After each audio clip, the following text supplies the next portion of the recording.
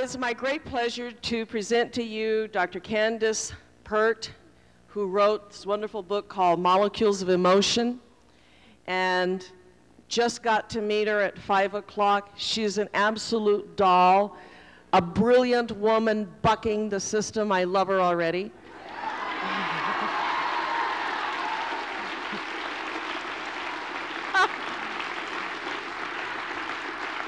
We've been endeavoring, and God bless Diane, has been, she kind of never heard of Ramtha. So you can imagine she's endeavoring.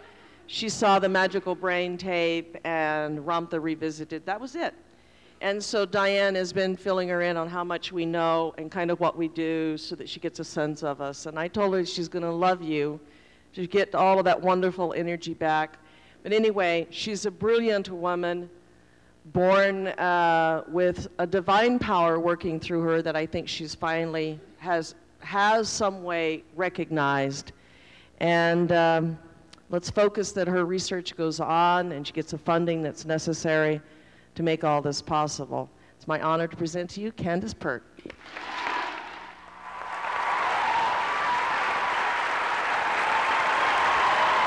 You're beautiful.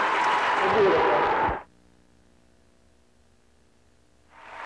Take it away, doll.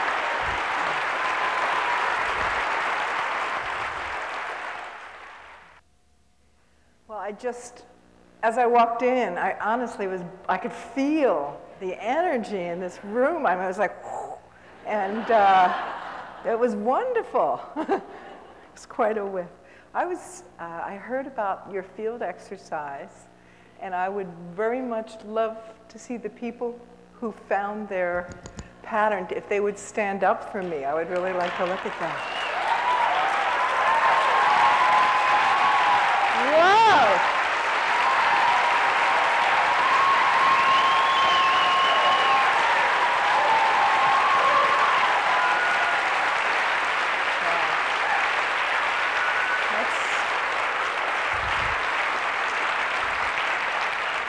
You know, I'm starting to get that nothing's impossible. I kind of had a suspicion. Uh, I mean, just being here, it sort of seemed impossible, but it was the strangest thing, the way my schedule just happened to have an opening exactly, and uh, well, if it wasn't, that wasn't enough, and then um, the, as I go up to catch the Washington Post in the morning and go to the edge of the driveway, like I do every morning, you know, I got to keep up with all the exciting news from Washington. Uh, at that moment, the driver came and exactly met me and handed me the tickets for this trip. I mean, it was strange. Who's this guy coming up my driveway at 6.30 a.m.? I was like, oh, oh, you know. Oh, so I don't knock it over when I flail around? You'll be right here. Okay. Okay. So I'm going to um, speak from my heart, tell you what I know. I'm a scientist. I will speak from being a scientist, uh, tell what I know as science, talk from my experience, speak of uh, what I know as a woman, person, human being, and I'll um, um, label things that are ideas, and I'm very you know, I'll talk for about 45 minutes for an hour and show slides. That's my format. That's what I'm kind of used to doing. And then we can have a question and answer period where I fully expect to learn more than what I teach. Honestly. May I have the first slide, please? Anyway, slide number one, I'll describe it to you. It's actually a joke. Uh, there's a gravestone on it, and it says, Joe Blow, 19 whatever to 19. C, it wasn't psychosomatic. and because our culture uh, really believes that uh, psychosomatic means unreal, uh, imaginary illness. And I've really come from my research. This is a journey that I've been on for uh, this 20, 25 years. In fact, it'll be exactly 25 years this March just a few weeks that my first paper, pivotal paper, the discovery of the opiate receptor was published. It'll be the exact 25th year anniversary. And what I've come to realize is that all illness, all illness has a psychosomatic, a mind body component. I've come really very gradually to that. There's really no illness that's not a mental illness, and there's no physical illness that doesn't have a mental uh, component, and there's no mental illness that doesn't have a physical component. And the two are just very intertwined, but we're living in a culture where the medical uh, paradigm is really not uh, recognizing this. I don't want to say things that are too obvious. This is a very advanced group. I'm used to talking to uh, medical school professors, so.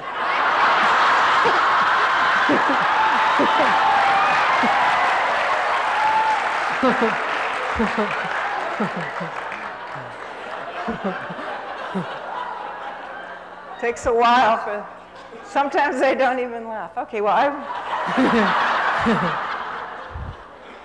well, I want to teach you a little bit about receptors. That's my, uh, my, my PhD from Johns Hopkins is in pharmacology. So technically, I'm a pharmacologist, but I think I'm really a receptorologist because that is kind of where my career has been focused, and it just keeps unfolding because receptors, uh, we can think of them as little keyholes, and they were first invoked as an idea to explain the fact that no drug acts unless it's fixed on a receptor, which was at one time just an imaginary idea.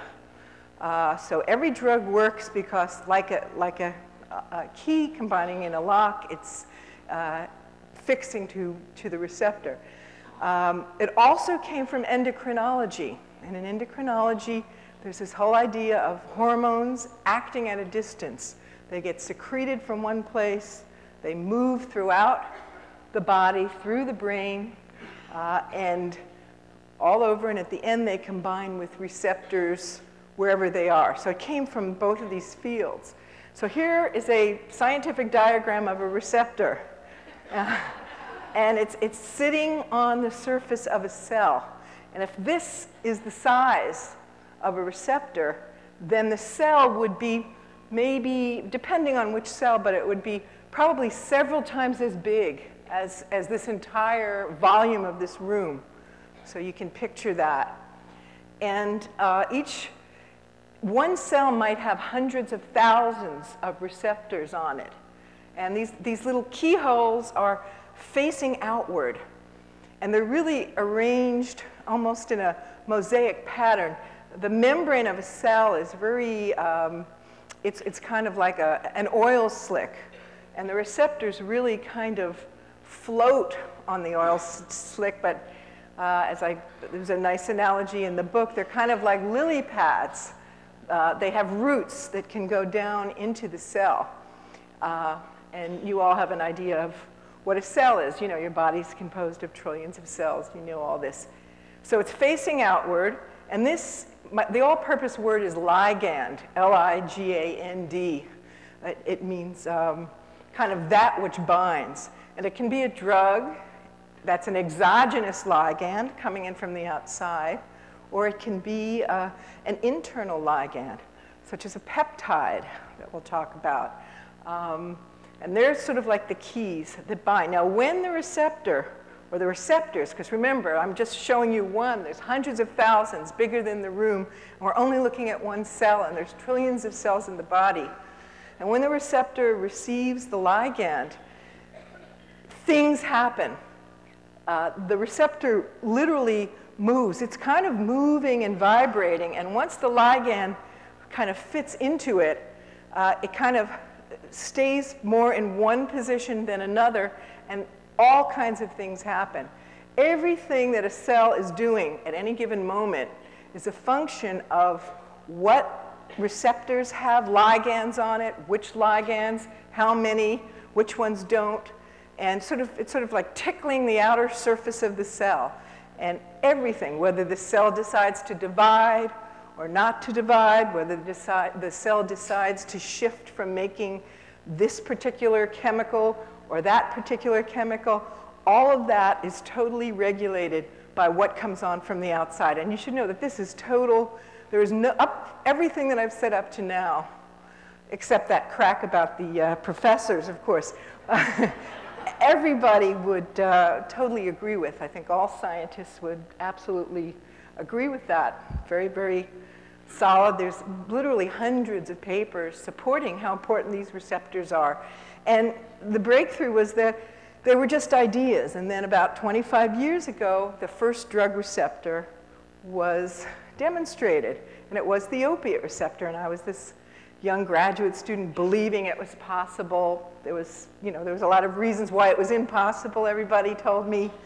And I had this sort of romantic attachment to um, making it happen. And it was very hard, and it was just a matter of finding the right recipe. Okay, that's what a lot of, uh, uh, uh, the right ingredients, the right ratios to make, you know, the right time, the right temperature. You know, it's sort of like how do you bake a lemon meringue pie? Well, if you've never had one or seen one, you might try it a lot of different ways before you get it right. Anyway, so there's a receptor, there's a ligand. Uh, you know about a cell.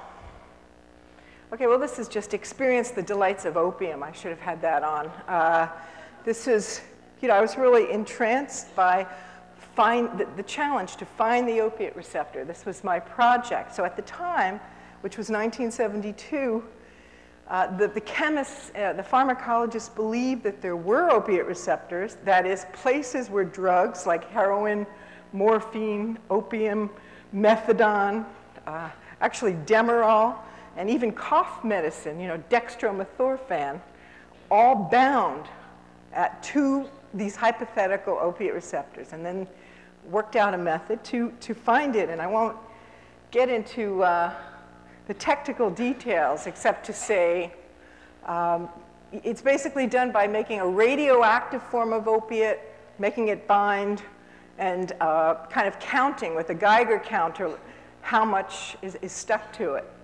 But that's a little dull. Let me not lose you. Well, this, these are actual maps, years, jumping years later. I, I worked for many years at the National Institutes of, of Health, which is in Bethesda, where um, diseases are studied. And um, at the NIH, uh, um, we developed a method for actually seeing. So what you're looking here is, a, is one example of thousands of slides I could bore you with. This one's dull enough, but uh, they'll get prettier. You just sort of take a rat brain and you're looking, you're moving through it. This is the extreme. These are the olfactory bulbs. This is kind of the more the front of the brain. Rats don't have much of a frontal cortex. You know, they're sort of dumb compared to us. Uh, and then you're moving backwards, and here you're kind of winding up in the midbrain. And, and these are the maps of opiate receptors where it's dark there's a lot of opiate receptors. And these are very complicated, and I don't want to oversimplify. Uh, I mean, there are, the way science works, there might be one guy who's the world's expert, and all he or she knows is this little part of that little part of the brain. And they know all the connections, and they can look at this map and say, my gosh, it looks like the opiate receptors are over this particular nucleus. A nucleus is just a group of brain cells. Uh, so this just gives you an idea of what opiate receptors look like.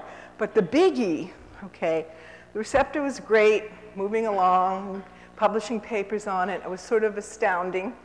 But, you know, it started, the question started coming, you know, why did God put opiate receptors in the brains of animals? You know, so that people could get high? I mean, that, you know, didn't really make a lot of sense. And then people started saying, well, there must be a natural internal ligand that binds to those receptors. And sure enough, uh, in 1976, two Scottish scientists uh, found uh, what's called the endorphins, the endogenous morphines. And um, there was a whole, this is, this, it could be a whole story in itself. And in the book, I'm trying to do the focus thing a little better. Maybe you can do it from the back. In the book, um, I talk a lot about the race. A lot of science is, um, you know, racing, competition. Scientists work for ego a lot. They don't get paid a lot of money. They like to see their name in print. That's the ultimate thrill. And you get your name in print if you publish papers and share information with others. Uh, so there was a big race for the brain's own morphine. And the key discovery was that it turned out to be a peptide. That's what touched off everything. Now, what is a peptide? It's really simple. It's a chemical class. And peptides are strings of amino, amino acids. And you've heard of amino acids. Peptides are, they're also tiny little proteins. You've heard about proteins. And both, both peptides and proteins are strings of amino acids. And, uh, you know, uh, proteins can have uh, several hundred amino acids in a row. Peptides that are really important in the body can have three, four, five. Uh, not all peptides are made by the body. Peptides are made um, by uh, companies. They're, they're put in our food. NutraSweet, aspartame, that's, that's a dipeptide, meaning it's got two amino acids. That, that's actually a dipeptide that fits into your sweetness receptor in your tongue. So it feels sweet to you, even though uh, it's not really sugar and you can't use the calories of it, etc. So there's 20 amino acids about, and just like you could imagine the first 20 letters of the alphabet. And so they're strung together, just like, um, you know, I use, I use my, imagine Pop-It beads. Is anybody old enough to remember Pop-It beads? Didn't we love them? Yeah, I, I, I'd like to find them again. They're colored beads, and you can stick them together. One part fits into the other. The part that fits is called the peptide bond. That's actually where that term came from. Peptide refers to the peptide bond. So there's 20 amino acids, uh, different ones strong. And you can imagine an infinite, just like you can imagine an infinite number of words that you could put together or nonsense sequences, I mean, there's really infinite. If you've got 20 possibilities, you can make dipeptides, tripeptides, pentapeptides. Well, your body doesn't make infinite, it makes a very finite number of important peptides.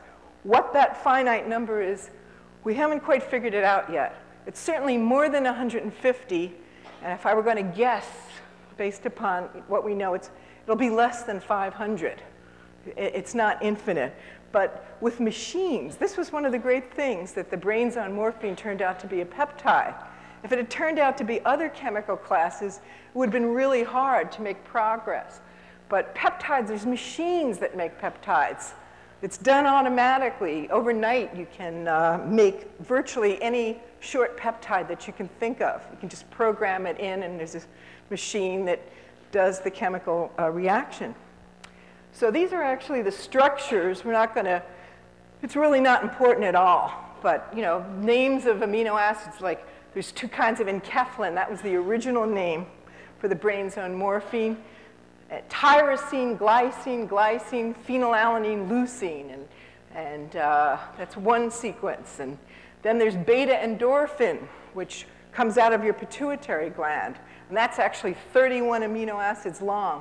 And the first five are the enkephalin sequence. And it's really, you know, scientists, there's a saying that scientists would rather use each other's toothbrushes than each other's terminology. It's.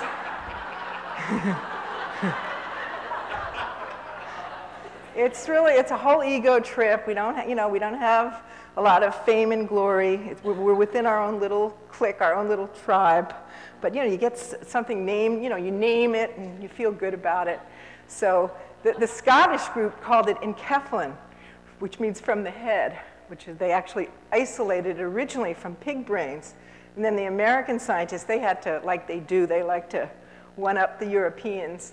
And uh, they called it endorphins, which means endogenous morphines. And that's kind of a better word, and that word actually is the one that stuck. And you know, today you can read in any magazine, you know, endorphins, orgasm, runner's high, bonding, infant mother bonding, all these things. There's data that shows what, what it does, and people invoke it. Hey, my endorphins. There was a whole movie, Liquid Sky. I don't know if anybody saw that uh, a while ago. But back in 1976, when this was discovered, it was astounding to people. And it's amazing how quickly it entered and people, you know, it entered the popular culture. And it was very exciting to be a part of that for me. So here are three rats that have been injected with the, different, the brains on morphine, morphine, and this is actually a peptide uh, version of, of, of enkephalin that lasts a long time. You can see them, they're utterly blissed out. right. It's called, this, I call this slide Rats in Bliss. And look at them. Well, they, they look like they've just had a fabulous massage, or, you know, they look like this. Their head is thrown back, just like opium. And of course, there's lots of experiments showing what they do and many, many forms that have been discovered. There's a form of endorphins in milk and in mother's milk. It's actually a form with a recent, slightly different chemical structure. So here's the word neurojuices, a highly technical word that I coined because I was, uh, I was uh, reacting to the, all the fights about should we call these new substances neuromodulators or we, should we call them neurotransmitters? And what happened was once the endorphins were discovered, everybody went, it was peptide mania, the peptide generation. I mean, people were, any peptide that had ever been discovered anywhere in biology, in any context, people were looking to see if it was in the brain and my lab at the National Institutes of Health was looking to see if we could find receptors for peptides in the brain. And we called them neuropeptides. And we were never disappointed. If you got it technically right, anything you looked for uh, was there. And you really got the, the, the, the idea of the importance of these peptides. There's just so many of them. Now, before that, there was just a few substances called neurotransmitters and you probably know some of these. Acetylcholine is probably the first one that was discovered. Norepinephrine is another one. Serotonin, you've heard a lot about serotonin since there's a Prozac deficiency in this culture. And uh, they, they might pass a law in Washington to put Prozac in the water supply. But there's some talks going on with Eli Lilly right now. Uh, no, that's a joke, of course. But uh, so serotonin, these are classical. And the classical neurotransmitters, although they are not peptides, there are other types of chemicals. They're slightly smaller. They're, they're one amino acid that has a few little atoms rearranged in a different way. Uh, but conceptually, they're very much like peptides since they all um, are secreted from the brain, and as you'll see other places, and they all work by attaching to receptors um, so it's conceptually, it's a lock and key kind of a situation, although, and this is what's very interesting, uh, lock and key is really old think. It's kind of an old paradigm, and all I could draw was the lock and the key in my, in my cartoon. You can visualize it better if you close your eyes, and I know this group is very good about closing their eyes and visualizing things. And tr try that and realize that the receptor molecule itself, which is kind of a long string of amino acids, so long, it's like a beaded necklace, it's almost like folded in on itself, sort of floating there. It's really vibrating, moving. It's very dynamic. And they're, you know, we don't really understand. I suspect that they're vibrating in some kind of synchronous rhythm. The vibration is real. There's biophysicists who study it. Uh, people don't really understand deeply what's going on, but if you know about quantum mechanics, you know that the receptor, uh, like other things, it, it, doesn't have an infinite number of vibrational possibilities. It, it'll favor some positions more than other. And obviously that vibration work is being done. You know, maybe as the receptors are vibrating on one cell, different things are being pumped in and out of the cell. Then when the ligands bind to the receptor, they kind of stabilize and keep it, lock it into one position. It's all about how much time it's spending into, in, in, in position. So you can sort of visualize that. Can people sort of see that in their, in their mind's eye? And whatever you see is true because nobody can draw a diagram of it. In fact, it would even be hard to do a cartoon of it because our understanding is so imperfect at this time.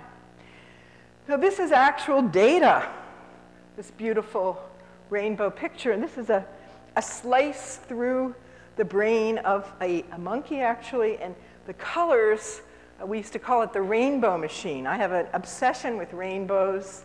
You know, the cover of my book has this gorgeous rainbow on it. um, the rainbow uh, computer, you've seen this. This is basically the weather map thing, where red means there's a lot of receptors, blue means there's not that many receptors. So, you know, we went from the black and white to the color, then you can instantly see where most of the receptors are. So what you see here is that this is actually the pituitary gland, the hypothalamus, and this is the amygdala, uh, or the amygdaloid nucleus. There's another one on the other side. It's sort of kind of cut off. And what we discovered very early was that these parts of the parts of the brain that classically the scientists had said this, these are the parts of the brain where emotions are controlled or mediated, they were loaded in opiate receptors. Now, this concept of the limbic system has to be looked at. It's thrown around a lot. Scientists kind of argue about it. Some people say it's just a metaphor. Uh, there's kind of, we're not really, you know, there's some, some disagreement about it.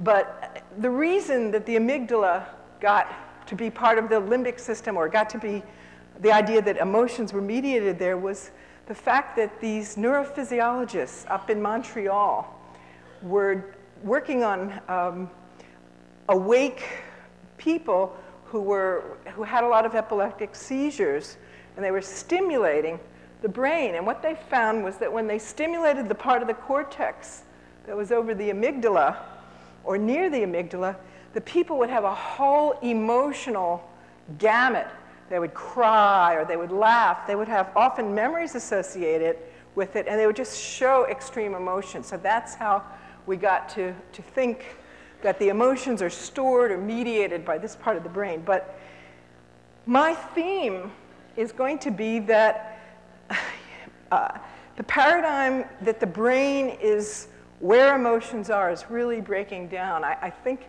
what I'm thinking about is that the emotions are really kind of a bridge between the mind and the body, and they are as much in the body as they are in the brain. In fact, they really play a role in manifesting or actually creating the matter of the body.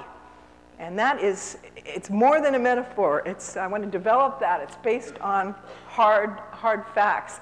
Well, the first mind blowing or paradigm shifting thing that happened was when we discovered that insulin, I mean, insulin, what's insulin? Where is insulin? Everybody point to where insulin. In your pancreas, right? Is there insulin in your brain? You bet. There's insulin in your brain. Who told you? Did Ramtha tell you that? Honest to God? when?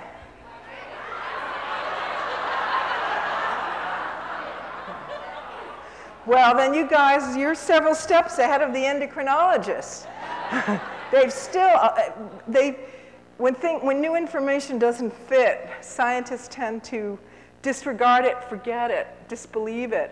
And the papers on this were really published almost uh, 10 years ago that there's insulin in the brain and insulin receptors in the brain. Guess where? This is a rat, the amygdala and the hypothalamus again, in these limbic system or emotional areas but the people don't, the endocrinologists don't know quite what to do with it because they're over here, they're the endocrinologists, and the neuroscientists, they're over there. And maybe they're competing for the same money, and they don't, you know, unless there's an endocrinologist married to an immunologist, or they don't talk much. So th this is actually a theme. There's a lot of, you know, uh, separation of the various disciplines, but that's not how the body works at all the body mind is really one unit and uh, it's just much, much more integrated. So it's not just that conceptually hormones are very much like neurotransmitters and neuropeptides. It's like they're the same things. I mean, they're, they're all one thing. It's just an accident that somebody discovered insulin and said, let's have an endocrinology department and you can be the boss and we can have awards and we can keep other, you know, it's just an accident of, of history. And in real life, they're really all the same thing. But uh, there's very little studies on what insulin actually does in the brain, but it suggests that even diseases like diabetes, maybe, you know, there's, there's a capacity there. So I wanted to mention that Charles Darwin, who was a pretty respectable guy, uh, you know, he actually wrote a book called Expression of the Emotions in Man and Animals several years after he um, wrote Origin of the Species and talked about evolution. People, very few people know about this book. Uh, it was actually out of print for many, many years and almost in, in all countries except one. Who can guess what country that was? Where it's Italy. Stayed in print in Italy. Uh, that says something about. But what Charles Darwin said was that emotions are so important for the survival of the species that they must have.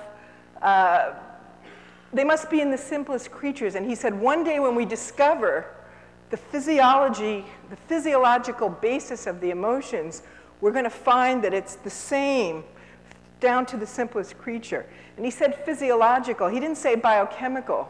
Why didn't he say biochemical? Because biochemistry hadn't been invented and wouldn't be invented for another 30 years. So he said physiological. And, you know, evolution is really, it's sort of a pessimistic subject because for an animal to survive, it has to always worry. It has to come from, from lack. It has to come from concern. It has to come from, I'm going to die. I'm going to run out. And, um, you know, we talk about reptilian brains and the basic lower brains, and people have argued with that. Paul MacLean, who's a friend of mine, developed that idea. But we do have layers of brain, and we have parts of lower brain that can run us, I think, and keep us uh, worrying about what's going to happen happen next, uh, even, even though you know, you're comfortable and you're fine. That's just really in there. That's programmed in because it's been in there for, for millions of years. So this is sort of a, a technical looking map, but what I wanted, to, I wanted to show you, I want to make a point. I'm going to take a sip of water.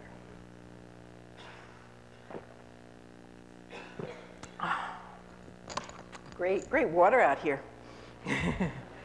um, so my colleagues, Birgit Zipser and Joanna Hill, that worked with me for many years, uh, at some point while we were at the NIH, peptide receptors for about 20, 25 different ones had been mapped in the brain, and they made sort of a master map.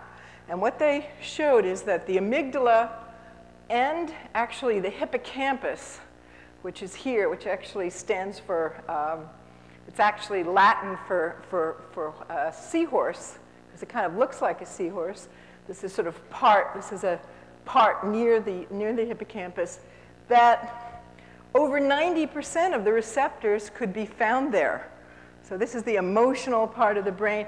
And then you can see like a lot of receptors are, this is putting it all together. This is compressing a real lot of complicated information into an oversimplification, but I just thought it would be interesting to put it out here because you have some teachings, there's a lot of uh, new ideas, there's a lot of uninterpretable facts in here. You know, there's just data, there's a lot of data on where these uh, substances are without understanding what it means, but you can see a lot in the cortex, a lot in the limbic system, not so many receptors in the midbrain or, or the cerebellum, although, although there is some, ex some exceptions, and, and back uh, through the brain. But this, we got to talk about the spinal cord.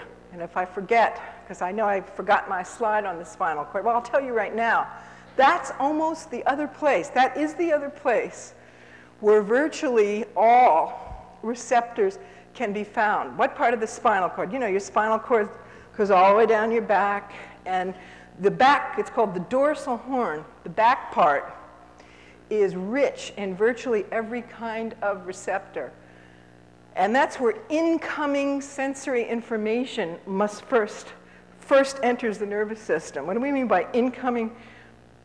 Somatosensory, sensations from your body, pain, pleasure, vibrations, hot, cold, any sensations that are coming from your body your face, uh, are first entering there. And isn't that interesting that these receptors, which, you know, I'm calling them the molecules of emotion, and I'm basing that theory, it's a theory, it's a good theory. There's a ton of data to support it. I don't think anyone can disprove it.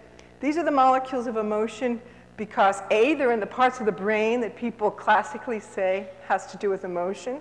B, as Darwin predicted, they're in the simplest animals. There's an animal called a tetrahymena that's so simple, it's only one cell.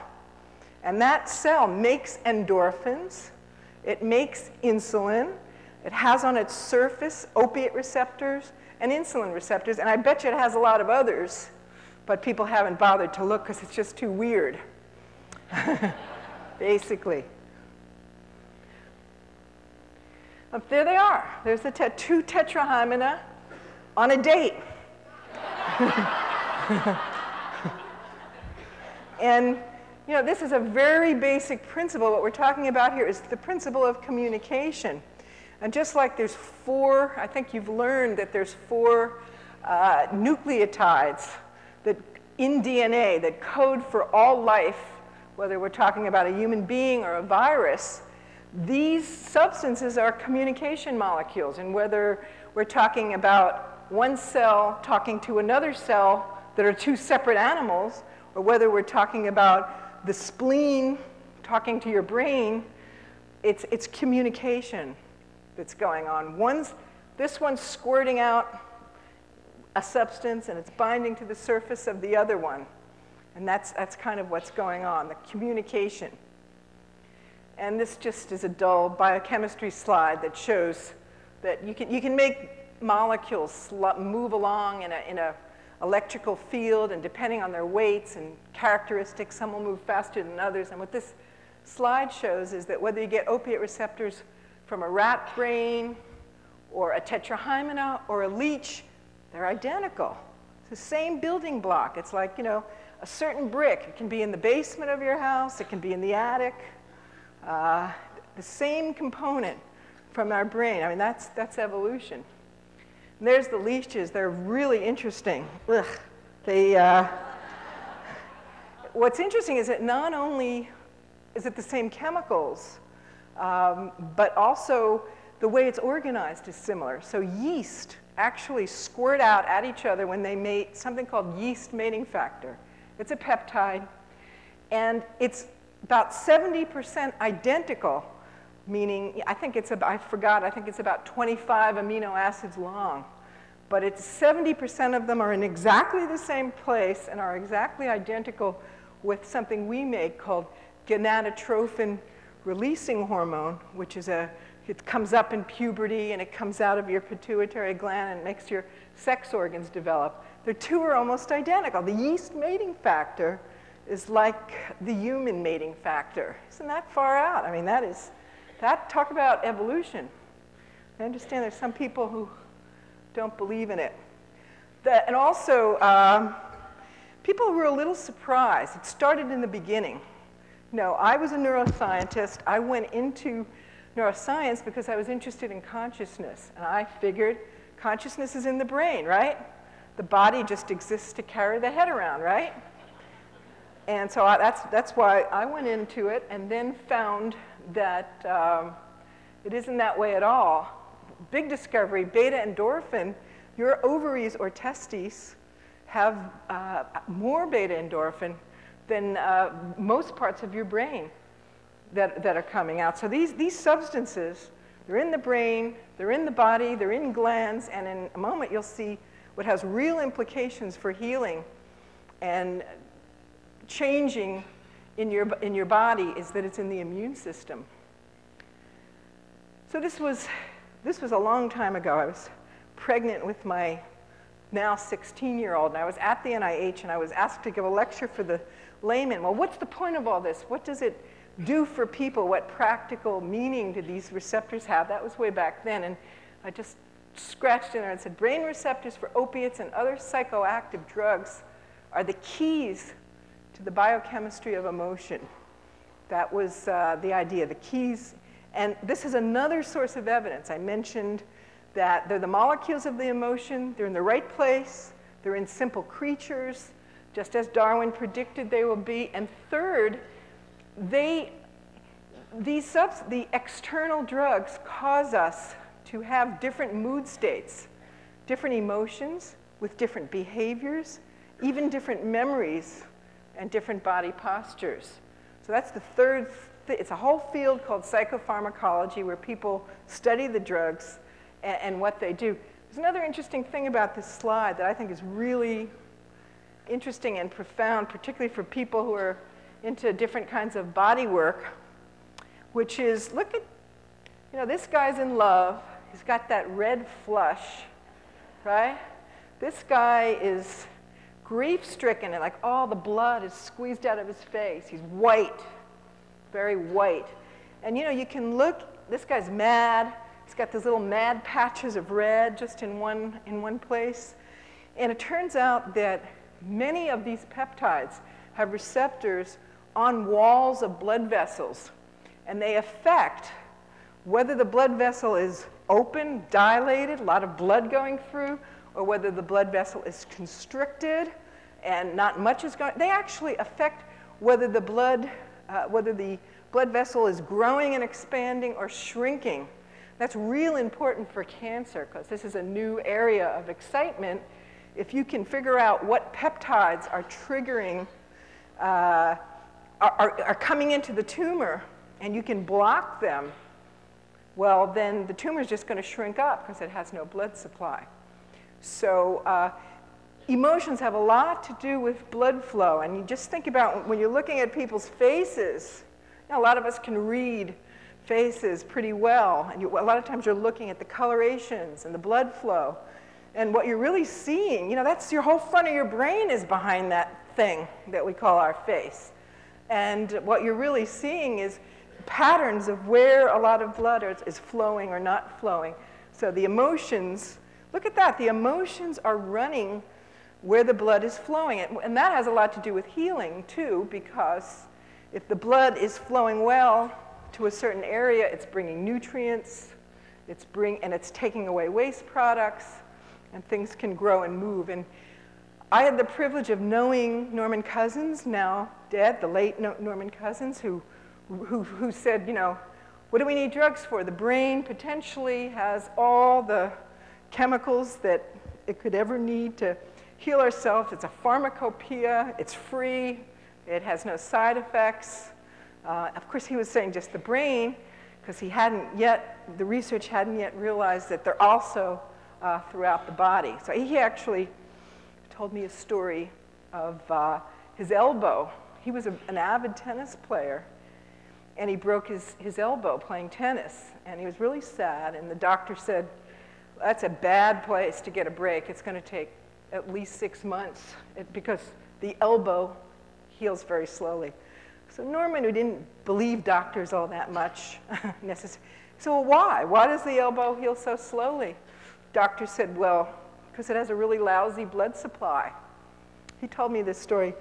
So he said, oh, well, if it has a lousy blood supply, well, that's easy. I'll just visualize a lot of blood flowing through it. So every day, this was, he just sort of invented this himself. He wasn't using any uh, practice, and he just sort of visualized with his eyes closed the blood flowing. And he claims he was back playing tennis in under three months and more like two months. And he swears that, and he had no reason to lie to it. But, you know, it's a principle that's important. So be it.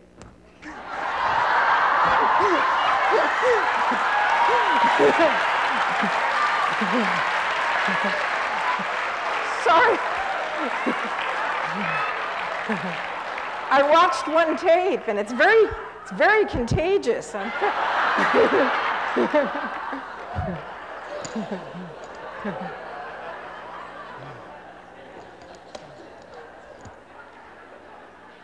so I just wanted to show you, uh, this, these are marijuana receptors. It took a long time to do the marijuana receptor. This is from my friend Miles Herkenham at the NIH that I worked with a lot, and the bright, now we have different screens, the bright uh, fiery places are the places where there's really a lot of marijuana receptors.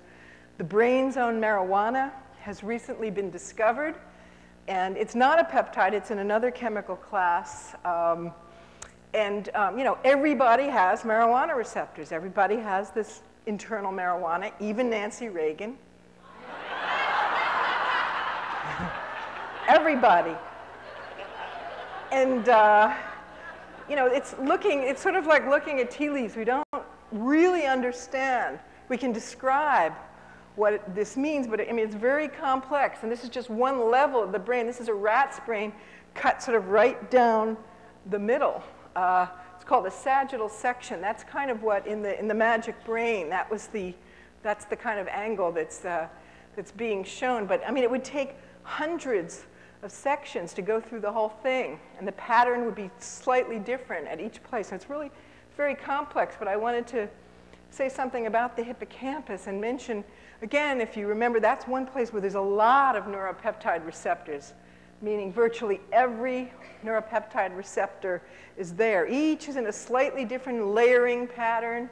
You know, there's people who spend their whole life on one layer of the hippocampus and know exactly what what the connections are. Well, the hippocampus has to do with memory.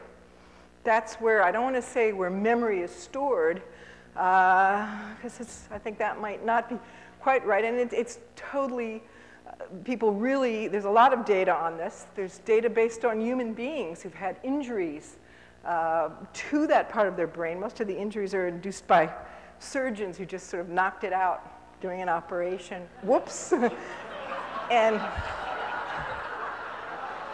there, there's, there, there's one very famous patient who's been studied for decades. He's in the Boston area, and every morning he wakes up and doesn't remember anything that happened to him. And every morning he has to be told, Hi, did, this is, oh, what happened? Where am I? Oh, you had it. You had damage to your brain. You have no, you have no uh, short, you're unable to, you have short, you can learn, during the day, but you can't remember anything that happened uh, before. He's a famous patient. There's hundreds of papers based on this, on, this, on this patient. And you can do it to rats and show that this part of the brain is where memory is stored. So isn't it interesting that it's almost like this memory portal is coded with all of these various um, molecules of emotion receptors. So it's, it's almost like um, well, there's a phenomenon called uh, dissociated states of learning, and in which scientists have shown that there's different um, states of mind, basically, uh, that can be switched on with different drugs. And when you're working with drugs, you're really just mimicking experimentally what goes on with, in the body. And with different states of mind, um, you learn better you can recall better what you learned if you're on the same drug that you had at the time you were learning. So an example is if you're a student and you're studying with coffee and cigarettes, you better be smoking coffee and drinking cigarettes or whatever uh, when you take the exam, or you won't do as well. There's hundreds of papers on rats showing that. So we're all we all have dissociated states of learning because we all have different chemicals percolating at different times. So each of these states of mind actually have not just different behaviors, different moods, but even different memories that are accessible. And that's probably where the hippocampus comes in. I mean, you know, people, you have different moods. When you're having, uh, you know, a bad day, you guys never have a bad day. but when other people are having a bad day, I mean, you really can't even remember when it was good. You know, your husband, my husband, he is, oh, what? I mean, he, and you just can't remember how great he was only yesterday. You, you literally can't remember because you're, you're, be, you're filtering things through, you know, you're awash in these chemicals that are, you know, they're not just running your mood, they're actually running your perceptions and your memories. I mean, you, you can't even access those memories. Okay, well, I just want to mention that Valium, that's called diazepam. This is the Hoffmann-La Roche receptor. this, is, this is actually found in a human brain here. And that's a, that's a substance that um, has been studied uh, a lot. And we have our internal anxiety chemical, which is a peptide that binds to this receptor. And the interesting thing about it is they, it does, it's not real ancient. You have to be at least a bony fish, which is an advanced fish, to have a Valium receptor. So anxiety is a very advanced concept. Uh, love your anxiety. Anxiety means that you have a big enough cortex to hold several options in your brain and to be anxious about which one you're going to choose. if you don't have that much cortex, you know, I'll just swim. You know, you just, there's not that many, you know, an amoeba doesn't have to decide whether it should go to college or, or not go to college or get a divorce or not. So anxiety is very, very advanced. I wanted to now tell you about psychoimmunology. And this, this, is an editorial that was in Nature magazine, which is a famous uh, science journal. Psychoimmunology before its time. Uh, this was published in about, uh, about 10 years ago, um, guess more like 13. There's probably a link between the central nervous system and the immune system. That's easily accepted, but the doubt is whether enough is yet known to sustain people's hopes of explanation.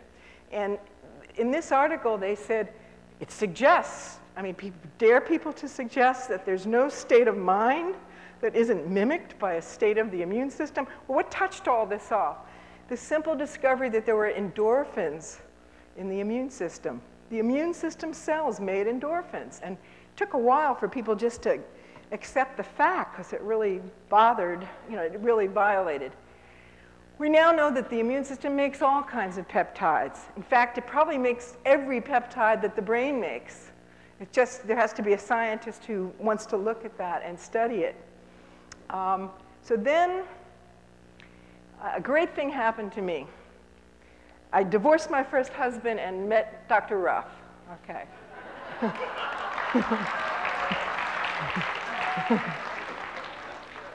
Let's Get Dr. Ruff in focus here. I really miss him. Somebody do that. All right. He's standing next to the cell that he has spent a lot of time studying, which is called the macrophage.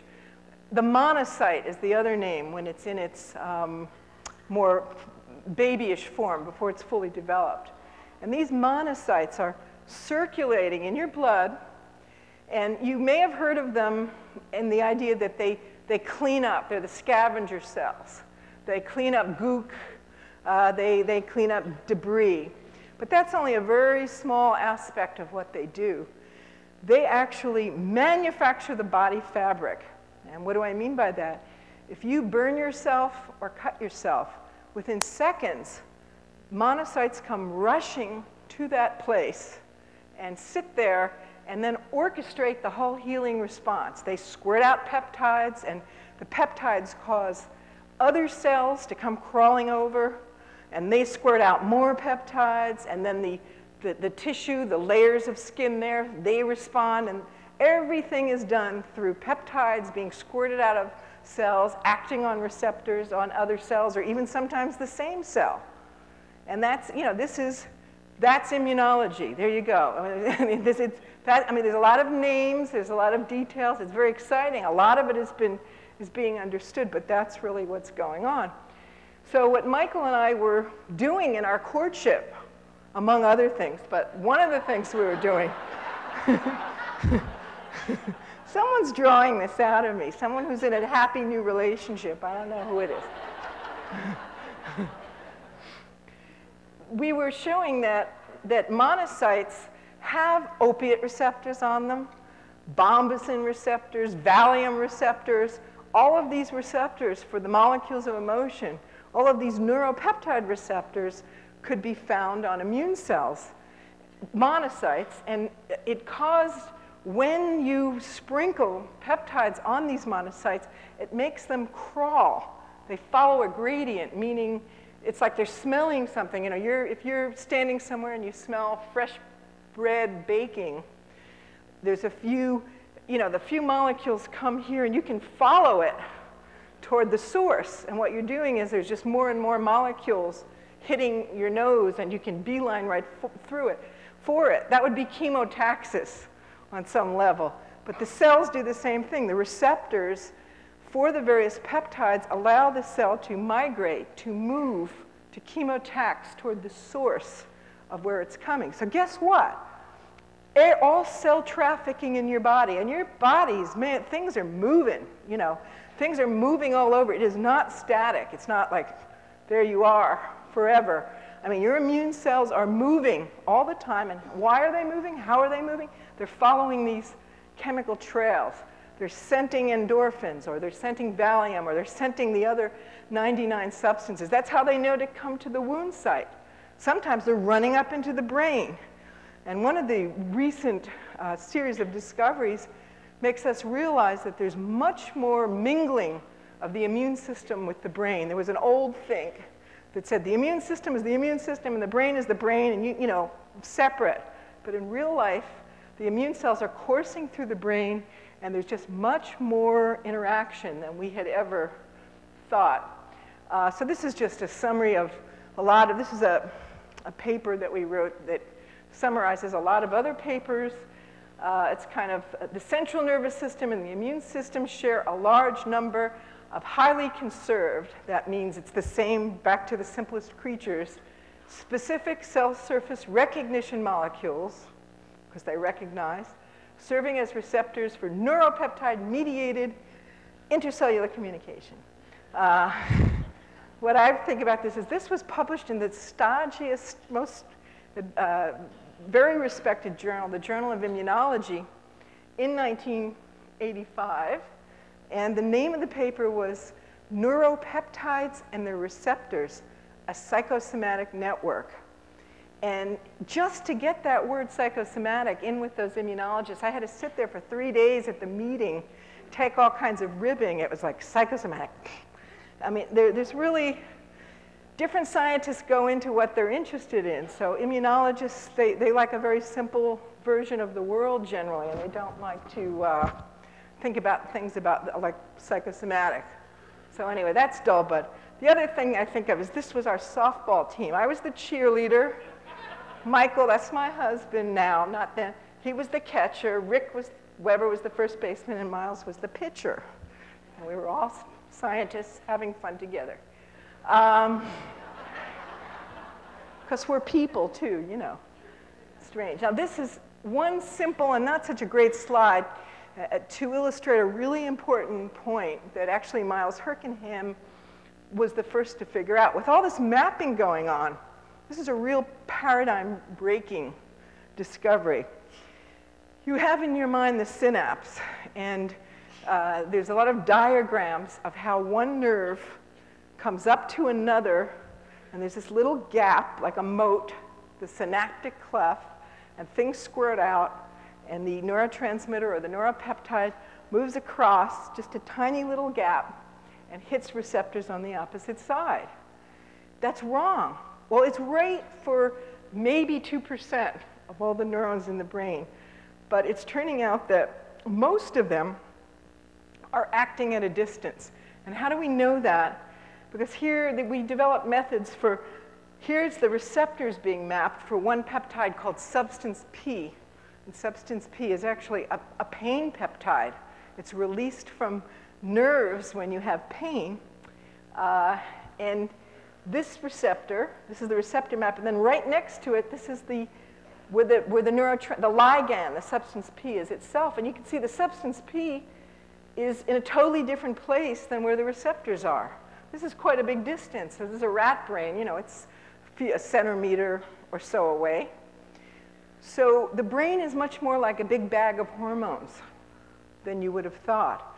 So things are moving, swimming, these molecules are uh, just diffusing around, and uh, they're acting at quite a distance. It's not this tightly wired little situation. What keeps it all straight is the receptors. And you should know that an opiate receptor is an opiate receptor. It will bind, you know, morphine, et cetera, and the endorphins, but it won't bind Valium. And a Valium receptor is a, very, very selective, different, highly specific.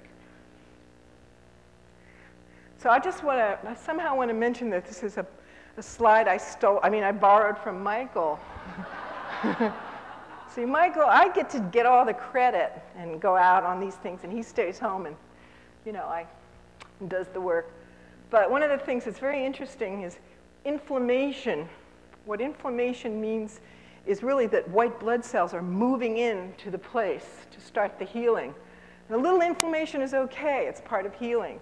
But when there's a lot of inflammation, that's when things sort of get out of control. Um, and there's disease processes which are caused by too much inflammation.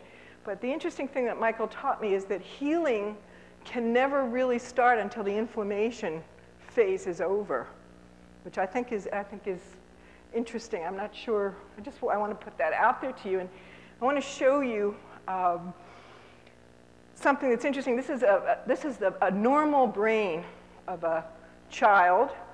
Uh, and this is, these are neurons. It's stained a certain way so that you can see this is like the cell body of a neuron. And then this is called the dendritic tree, or arborization is another name. You know, these are all the dendrites. It's just really very, very complex.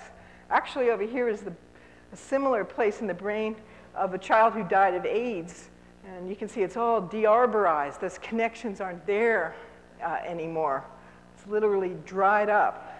But the new research is suggesting that these, there's cells in the brain called glial cells. There, there's 10 times more of them than there are neurons. And those cells have not been appreciated. They've been studied not so much, only recently they're being studied more. They're kind of the, the cells that squirt out the peptides that keep the nerves alive or kill them or kill parts of them. And it's not like there's your brain and there it is for the rest of your life. It's constantly changing. And what's doing the changes are these glial cells are actually very much like monocytes or macrophages. In fact, they are. There's a lot of cells that start life in your bloodstream as monocytes, and then they go into your brain later on and start to chew up endings. So there's a constant sculpting of, of neurons, and I'm summarizing. This is totally, um, many scientists have, uh, have, are working in this area. You can, I have not worked in this area myself, but you're, you're it's literally eating, sculpting and re-sculpting. It kind of reminds me of, of trauma and inflammation. You know, things can move in, there can be an area that's all infiltrated, but, you know, that part of the brain doesn't know quite which way it's going to go, and maybe it's sort of out of action for a while or hyperstimulated, then finally it simmers down. These processes are normal, and they're going on, and it's part of uh, how we're thinking and, and, and believing. But I want to make the point that, you know, I don't want to, uh, you know, how people, people react. So I was a neuroscientist, so then I discovered immunology and immunologists, and, you know, maybe in partial reaction to the whole first part of my, my life where everybody I knew was a neuroscientist. And I really embrace and get excited about the immune system. And I really want to make the point that we have a communication network here. Now, what's a communication network? The brain, in a way, is overrated um, because there's constant communication going on throughout. I, I actually call it the body mind without a hyphen because it's just, there's so much communication. So, the shared common components, they send information, that's the peptides and the other ligands, and they receive information, that's the receptors. And there's a communication among the elements no hierarchical control, no center, no exclusion. I mean, it isn't that the brain is in control. All of, I mean, the brain is kind of part of the immune system. It's in such tight, yes, it's secreting chemicals that are making the immune system change, and the immune system is secreting chemicals that are making the brain change. And a lot of times, for a lot of people, the brain is almost the last to know. Uh, information is coming up from the body and then the brain makes a story up about it, or um, you know, uh, information is coming in from the outside world, and the brain is, is, is making up a story. Few of us are putting the brain first. It has that capacity. We can gain conscious control. There are techniques to gain conscious control of not, not of the actual processes, but um, I'm just very influenced by uh, my dinner conversation, so I haven't quite. That's a little half baked. Let's not put that out there, but it was, there, I had, there was some very stimulating conversation, and I have a lot to learn here. Um, all right, the wisdom of the body. I want to mention that the whole concept of emotions, people used to fight about. Do emotions originate in the head and trickle down to the body? Cannon, he was from Harvard, turn of the century, he thought so because he felt that the hypothalamus and the pituitary were squirting out these substances. They actually knew that some of them were peptides then, and they're acting on the body. But William James, these were the James Cannon debates, he had the opposite point of view. He said, no, emotions are an epiphenomenon where we're trying to uh, explain and feel what's going on in the body. James felt that every muscle, every digestive muscle that moved, uh, every little thing that happened in the body, things happen and then chemicals percolated up, and that was emotions. Well, which is right? I think now the fact that it's happened chemically, the molecules of emotion are in both places. There's so much intimacy. It's almost a spontaneous uh, kind of effect. And I think, you know, people are talking more about a field theory. You know, we are not. You know, we're getting out of this old model. We are, we are a field of intelligence. Uh, innate intelligence, that's a term chiropractors have used for, what, 100 years. Uh, the wisdom of the body, Cannon called it. Uh, there's something about the way it all hangs together communication, intelligence. It's not just the molecules, there's some kind of energy field that's, that's, that's set up by it, and I do not pretend to have any answers to this. Um, and I don't think that the people who are going to figure this out are physicists, and they're going to uh, start to measure this. They're not going to be, I'm just a biochemist. My son is a physicist. I have great hopes for him. now, here's my, dia- my profound diagram. Somehow I was moved to make this diagram one day sort of like an altered state. And for years, I couldn't even show it. You know, now it's sort of like a cartoon. But this is the brain. This is the body. This is the necktie right here. we're so, this culture, we tend to be very much locked in our heads and not listening, listening to our body. And my definition of the mind is this communication, this field of information, these it's not literally the, the molecules flowing, it's some, uh, something that's set up, some field that's set up from this information flowing, I believe. Just like um, electromagnetic energy is produced whenever uh, a current runs through a wire, you get a field that comes away from it. When all this information is flowing in the body, there's a field that's really beyond the body. And of course, there are healers, therapeutic touch, other people who believe they can see and feel and manipulate that field.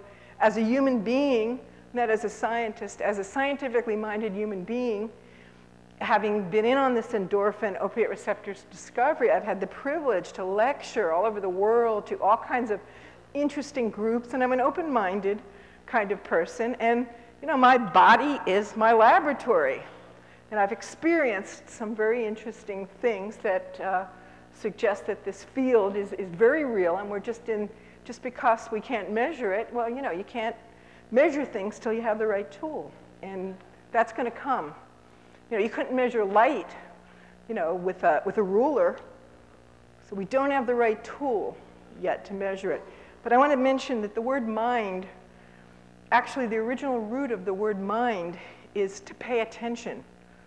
It's, a, it's an Anglo Saxon word like minding the store, to pay attention. So a lot of mind is about paying attention.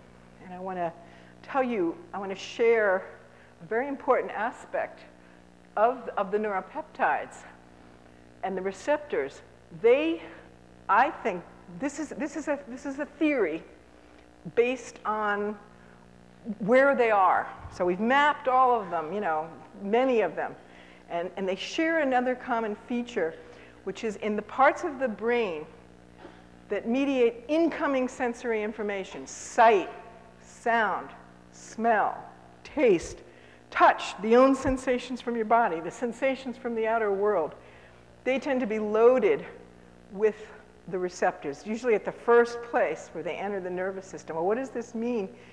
I think it has something to do with helping us to decide what to pay attention to. How do we decide? At any given moment, you're sitting there. I mean, I'm giving this talk. I'm not paying that much attention to the fact that my back hurts, but maybe it'll hurt later. And it doesn't hurt. I don't believe that anymore. You know, let me just correct my posture a little bit. All right, doesn't hurt. Uh, there's sounds in the room. There's a hum. Who paid attention to that before? There's a lot coming in, and at any moment you're making decisions that are usually very subconscious about what to pay attention to. And those decisions are, are based on what? Past experience, some hard wiring, and, and a lot of it's really about survival. And this silly little slide shows here's a guy, and he is happily eating something here. I don't know what it is and it's his smell is really activated. The gateway of the, of the receptors that, that are allowing smell in, he's going, this smells great, mm, this tastes great. And then Lee Harvey Oswald comes on a shot. This happened a long time ago. and suddenly, this, these, the smell and taste receptors shut down, and now uh, his eyes are going. His eyes are really where the actions is. His eye, that's the information. He's going to start acting on that because this is alarming and he doesn't even remember or feel the food. Next thing you know, stick him up. Somebody's holding him up. Well, now he doesn't care about what he sees or what he smells or what he tastes. Now he's going to wheel around and obviously he's going to pay attention to that. A lot of what we pay attention to is really old stuff, uh, old patterns, old evolutionary patterns where there's a threat or a perceived threat. And, but it's a, it's a challenge to consciously work on making conscious decisions about what to pay attention to. I feel ridiculous talking to you. You know a thousand times more about this than I do, but I think it's interesting that the molecules of emotion, what we perceive at any moment, is being filtered through our own, own emotions. And this is where you know, what is this reality, this so-called reality up, out there? It's just not the same for any two people. We're, we're constantly creating our reality based upon our emotional experience. And I should mention a very important fact. fact that I don't have a good slide to illustrate it doesn't mean it's not a really important fact. Hundreds of neuroscientists have proven that learning and memory occurs wherever there's a receptor. Uh, there's a whole bunch of studies showing that when the receptor receives a drug or when, when a pathway is activated, meaning a group of neurons fire in a circle, it's more likely to fire the next time. And that has to do with the receptors on its surface. So the receptors are changing all the time. It's not like you're born with 152 trillion opiate receptors, and that's it. Depending on whether you're taking opiates, how much pleasure you're having or not having, the, the receptors are changing all the time. And that, those are the places where learning occurs. So uh, there's a lot of learning. We learn what to see, we learn what to look at, we learn what to feel. We can unlearn it and consciously um, uh, uh, control it. And there's a good example in the book of something that I'm starting to think about. The, the emphasis on the midbrain that Ramtha has talked about is very interesting to me. The, the, you know, I've always been really hung up on and excited by the frontal cortex because chimpanzees don't have a frontal cortex as big as ours. They have 99% of the same DNA that we do. But, um, you know, they have this, you know, we have this big brain, you know, a monkey, a chimp they're not monkeys, they're primates. They have a little slope back here. They don't have much up front. Stuff that's behind our forehead is really unique to humans. And the midbrain is kind of, um, it hasn't interested me that much. However, there are a lot of automatic emotional things that are mediated by, by, the, by the midbrain. So what your eyeballs look at at any given moment, they're darting back and forth. There are muscles that do that. You're not consciously aware of that, Uh, and, and that, uh, the, the, the, where that's controlled feeds into the midbrain, and there's a lot of emotional receptors on it. So it's not how you even react. What you even see is mediated through your emotions.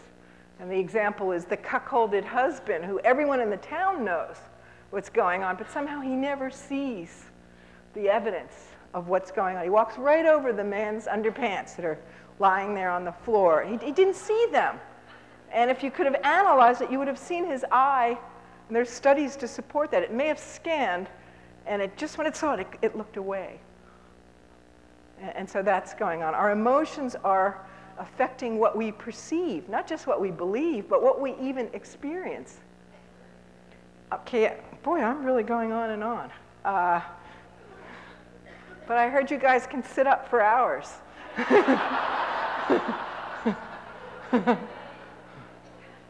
I just want to make the point another aspect of emotions is they integrate us into one full body mind. So, this is a, a kidney that has angiotensin receptors. Angiotensin is a hormone, a peptide, and it's the thirst peptide.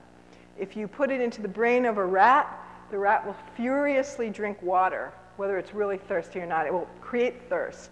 If you dribble the angiotensin peptide on the receptors of the kidney, it will, the kidney will make concentrated urine. It will work to conserve water. If you put it on the angiotensin receptors of the lung cells, the lung will exhale less water vapor. So you could say that angiotensin has an overall effect of, sub, of creating thirst and conserving water. That's a really good, clear example. We, we don't have examples that clear for other, other peptides, but the idea is it's happening all over the body, and you know, it, it is one organism, and it has to be kind of integrated. It has to be act as a whole, and that's kind of what emotions do. So if you're emotionally, I don't know, I want to do this, I want to do that, and you're lying to yourself and you're contorted, you can really see that um, you're not going to be very effective, and you might even get sick because you know the communication things are shut down, parts of the body aren't communicating well. So you're kind of looking for a really good overall uh, communication without parts that are out of the loop. That's nice. I don't know what that means.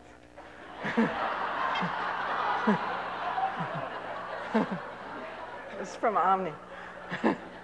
This is Georgetown, where I am. I am a professor now in Washington, D.C., after years at the NIH. Isn't that pretty?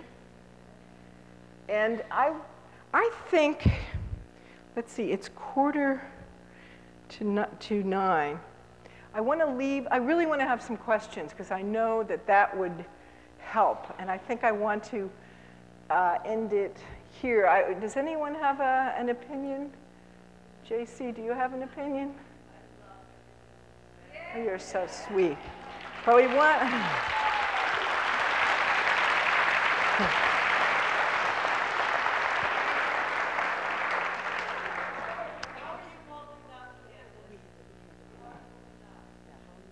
How am I holding up? Well, I'm, I'm going for this drug here that's going to really get me going. This, this Coca-Cola.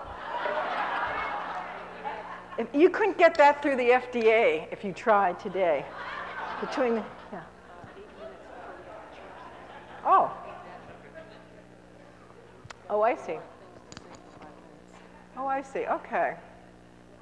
Okay, well, I'll say a couple of things uh, right now, and then we'll take a break and have a few questions.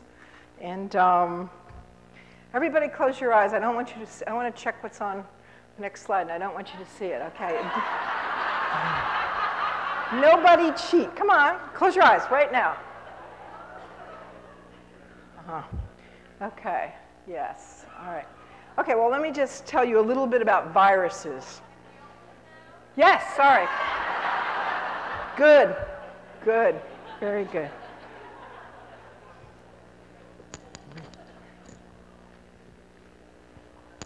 Let me tell you about viruses. it, it is a scientific fact that virtually all viruses use receptors to enter and infect a cell.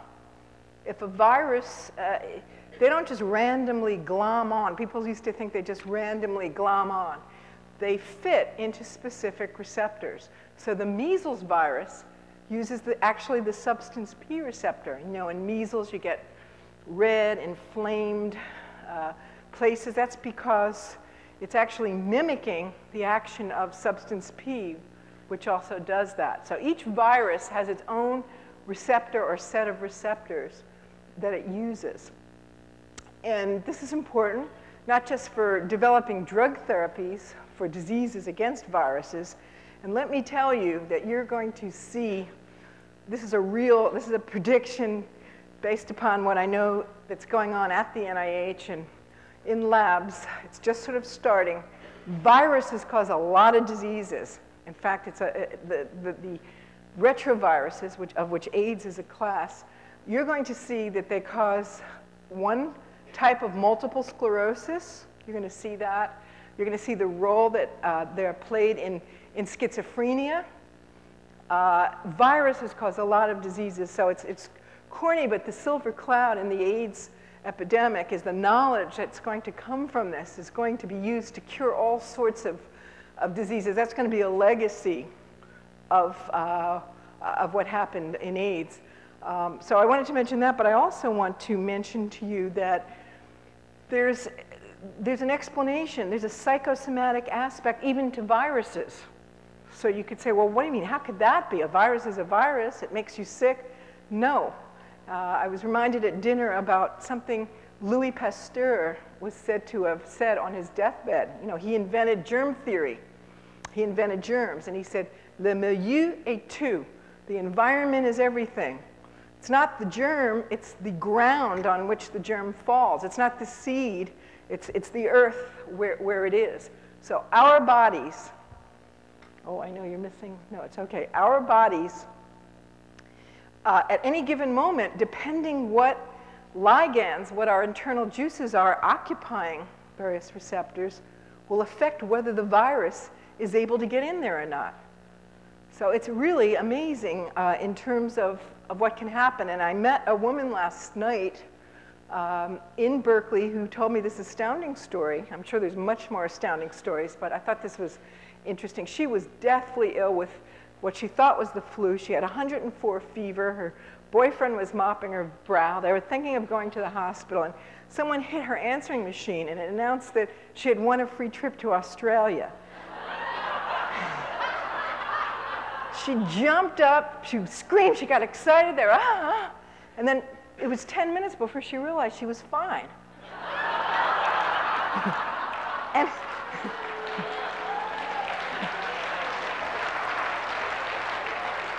her fever was gone. And, you know, it turns out, this is a total fact, everybody would agree with it, that the cold viruses that cause that actually use the same receptor that the neurotransmitter norepinephrine uses. And there's a whole literature suggesting that neuro, norepinephrine has to do with exhilaration and excitement. So you get that rush of norepinephrine, which is related to adrenaline. And now all those receptors are filled with norepinephrine molecules. And they're, they're blocking it, and now the virus can't get in, and the virus recedes, and the immune system wins. So, so, so don't tell me, I, don't tell me you're feeling lousy. It's, it's terrible to be my kid. Uh, he complains I never let him stay home from school. Get up! I don't want to hear you have a cold. Get in there, right. Okay, we're going to thank you uh, very much for your attention. I think we're going to have questions for the second half, and I really uh, have enjoyed talking to you so far. Thank you.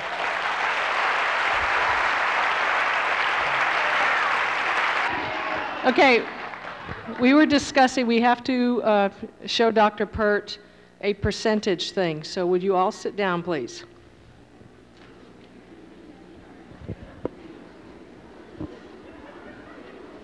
This is going to be a up and down moment, okay? Out of all of you here tonight, how many of you have ever found your card since you've been in school? Stand up. Okay, thank you. Now sit down.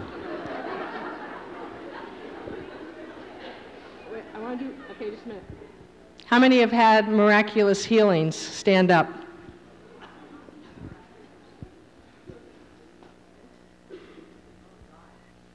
Okay.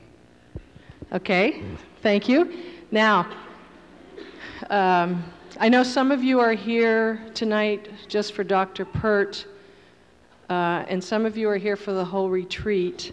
However, some of you were here just today, uh, so you're the ones that were out in the field. So, those of you that were only here today, during the day, uh, doing field work, would you please stand up?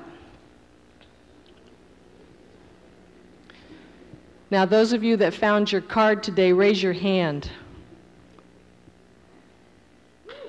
Okay? Thank you.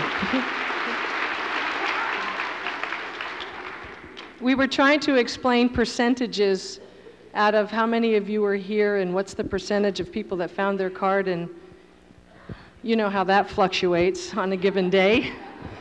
So I think at this time, unless uh, JZ, was there anything else? Was there anything else, JZ, that you wanted? That's enough. Okay. In which case, it is my honor to reintroduce Dr. Candace Pert.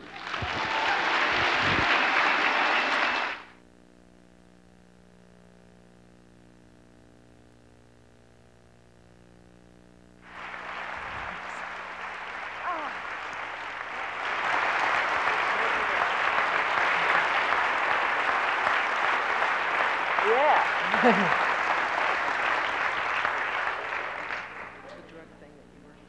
Right. Just, this is the question period, but I wanted to, uh, JZ and we were having a conversation about um, drugs and uh, what's going on with drugs. And JZ was sharing some of Ramtha's teachings, which really go along with the ideas that I've evolved based on the science. Uh, there are, it is a scientific fact proved numerous times over that any drug that you take, any exogenous ligand, well, what happens to the receptor when you take the ex uh, exogenous ligand? And what, take, what happens to the internal ligand? The answer is essentially without exception, in every case, the receptors shrink up. They're being bombarded by the external drug the organism wanting to have homeostasis, wanting to keep everything right, uh, the receptors literally disappear or they become less sensitive. Also, the internal substance uh, decreases, the ability to, to make it diminishes. So, if you're a heroin addict, you have, if not lost the ability to make endorphins, you make, you make way less of it. That, so, that's, so that's going on all the time. So drugs, you know, when I'm saying an exogenous ligand, internal, you might get the idea that they're the same, but let's take a moment to think about uh, what's actually going on. Uh, the internal pharmacy that we have is really perfect. It's at any moment there might be, let's take peptide B, whatever, a certain peptide there might be a lot flowing in one part of your brain, but none flowing in your spleen, and a little bit coming out of your pancreas. If I didn't mention it before, your digestive system is loaded with these neuropeptides, and your digestive system, all along the entire tube, is uh, so many nerves. It's like a, a, mini brain. There's more nerves in your entire intestine probably than there is in your brain, running the whole thing with the, with the with the neuropeptides. And we joke about gut feelings. And um, so, you know, we're very complex and perfect. And the right amount of each particular juice is getting to the right place, or at least has the potential to do that. When you take an external drug, it goes in. It's not, uh, it's pretty primitive. It's not elegant at all. It's just flooded. Every receptor that's in your body is flooded everywhere. That ain't the same thing as a little here, the subtlety of what your body naturally does. The other important fact is that these peptides are all very easily degraded, gotten rid of when they do their job. So they get squirted out, and every single cell has enzymes that basically destroy the peptides, inactivate them at, at, a, at, at a pace. Whereas the drugs that you take, they can only be inactivated in one organ in your body. Do you know what that organ is? Your liver. So your liver's, you know, working pretty hard. It's already got loads from all the poly, uh, the, the partially hydrogenated fats and the herbicides and the pesticides. Um, and then it's a load. It's like amazing. You know, little babies don't even have those liver enzymes that detox drugs until they're several months old. And yet a lot of babies are born with so many drugs circulating, not because their mother was a cocaine addict, but because the mother didn't want to have, quote, pain for, you know, a couple of hours. So the drugs are in the baby and it's in there for a while. Old people, their livers aren't doing that well necessarily. And, uh, you know, they're loaded with all kinds of drugs. I think a lot of the, there's a lot of iatrogenic illness where people are just getting too many, uh, too many drugs and people aren't thinking of this. So it's very different. The external drugs are flooding. It takes a long time for them to be inactivated.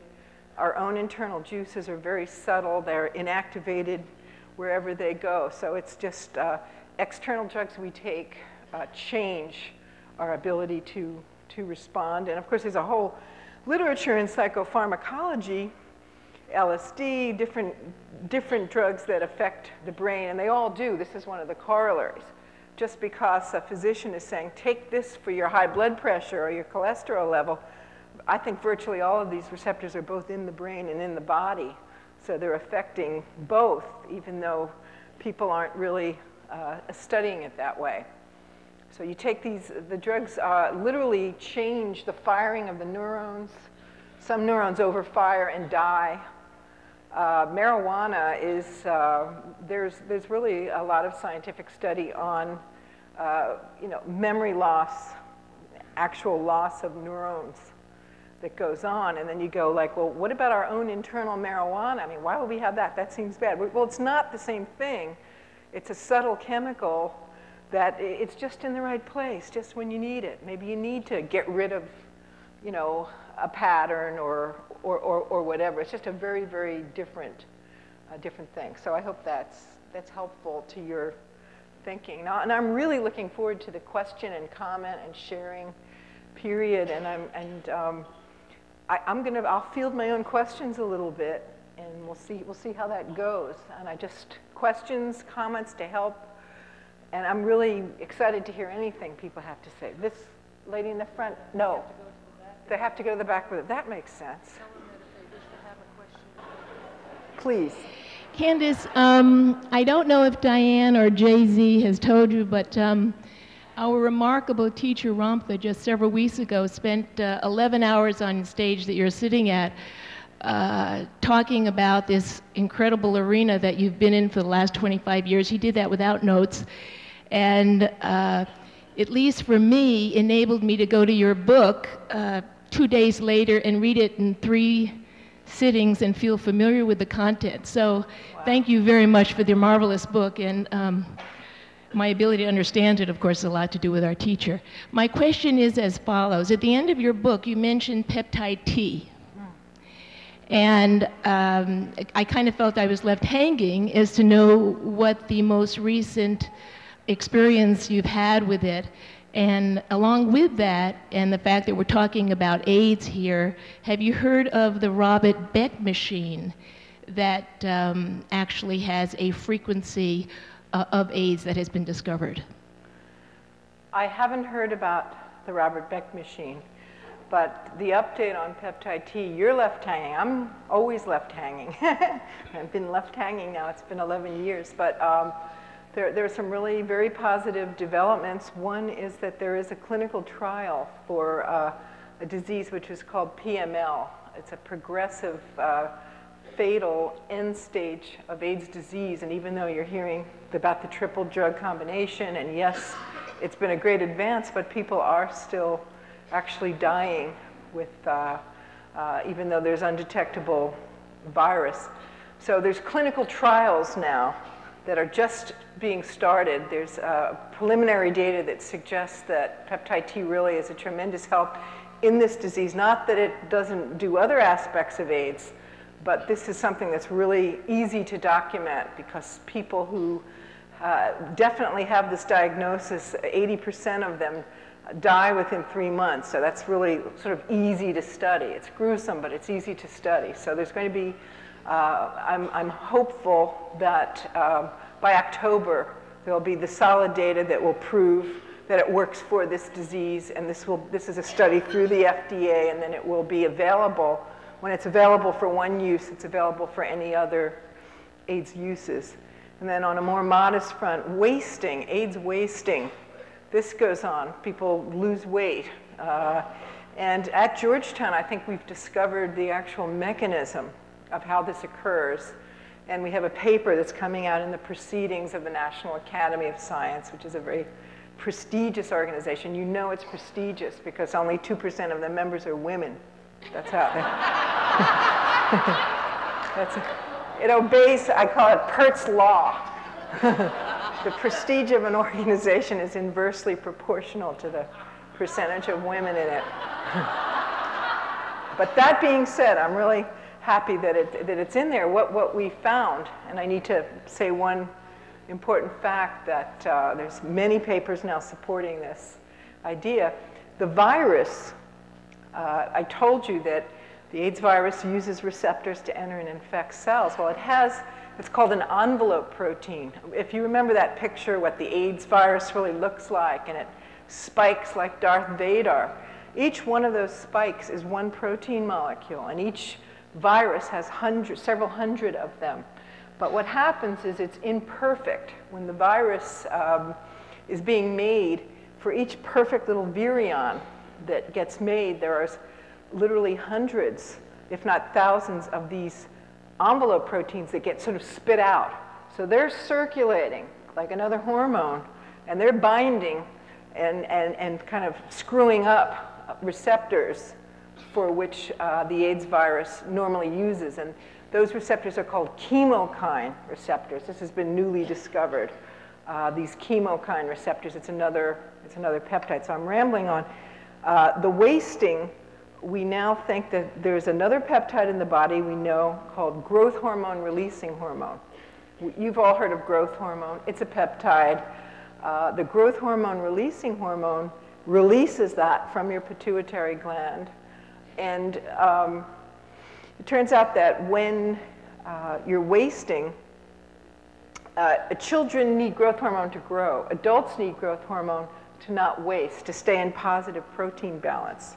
So AIDS, people with AIDS often do not have enough growth hormone, and we think we've figured out, we've proven that this viral envelope protein all by itself in rats, in the, on the pituitary gland and in the brain, uh, blocks the growth hormone receptor. It actually competes with it. There's a part, there's a peptide sequence identical in the AIDS virus envelope protein and in the um, growth hormone uh, sequence and in peptide T.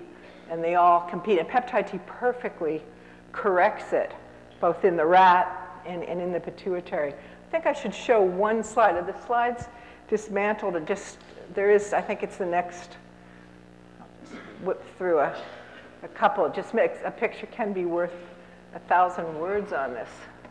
So it's great. I'm really it's great. So we've cured AIDS in rats. Wow. So what about uh, when do we get to, when does this go into people? Well, there are clinical trials planned.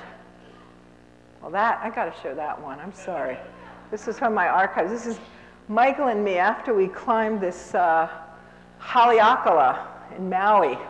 And I talk about it in the book. And Michael doesn't like me to talk about how we saw a rainbow and climbed this mountain and climbed this crater and how we had the idea for peptide T. And I really felt like there was a divine inspiration. He said, Don't do it. It's like too weird. You'll turn everybody off.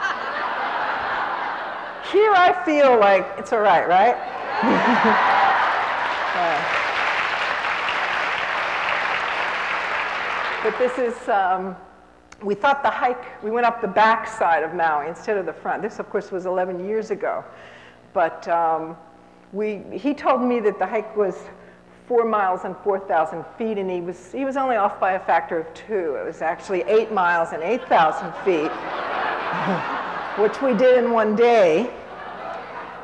And then when we came down from the mountain three days later, I went to the first uh, symposium on AIDS, on neuroAIDS, that was being held uh, in Maui at an important meeting. And as I was giving my talk, and all I had at the time for the talk was the fact that the receptors that the virus used, at that time they only knew one receptor called T4. Uh, we had shown that it was in brain as well as being in the immune system. And I was just showing the receptor maps. And in fact, I'll show you the actual slide that I was showing. This is the actual slide. And this slide was up on the wall in Maui. And I had sat through, I was the last speaker, and I heard all these unbelievable stories of the suffering of the patients. You know, it wasn't just an immune disease, it was a, a mind disease, and their minds were being destroyed.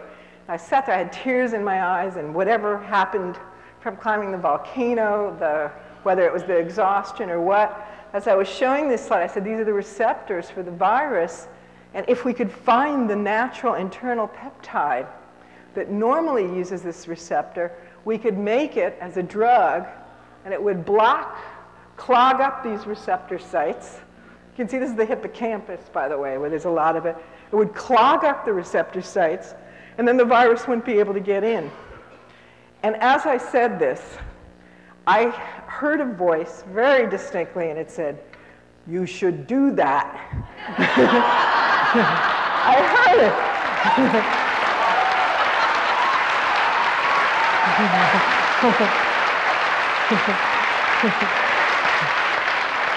and the worst thing about it, feminist that I was, it was clearly a man's voice.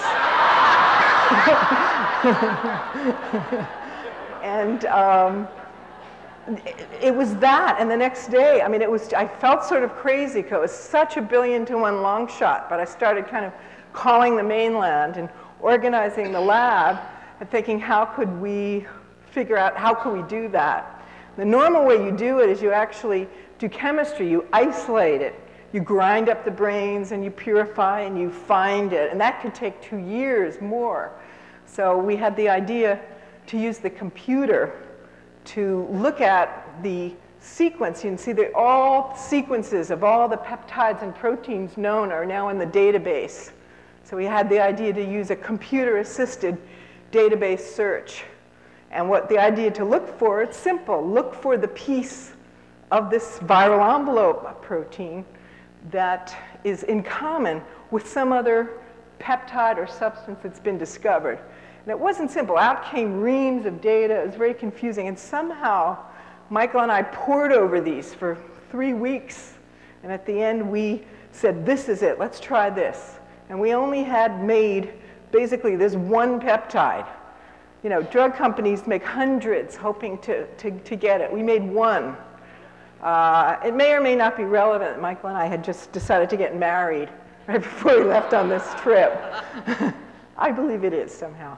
Um, but that sequence, uh, that was it. The very first one we made, and since then we've made hundreds, and none of them has been as good as the one that we made, and I kind of uh, tell, uh, tell the story in it. And this is the drug that's, that's today in, in clinical trials. So it was found rationally, but when that first experiment worked, you know, there was just this belief that you had to, you had to keep going, and there's been um, you know, it's been, I, I tell the story, it's been a little bit hard, but I'm feeling that we're coming to the end, at least in terms of AIDS, in terms of proving that it will be helpful to people.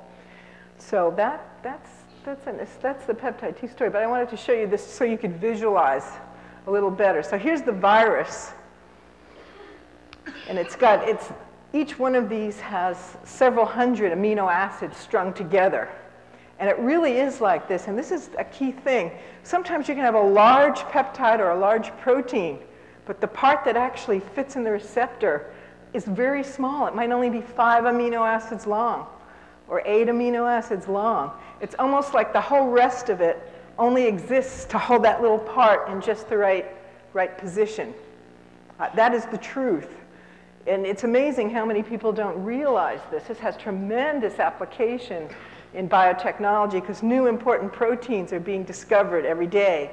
Virtually everyone has a receptor, and all you have to do is find the right piece and have assays for receptors.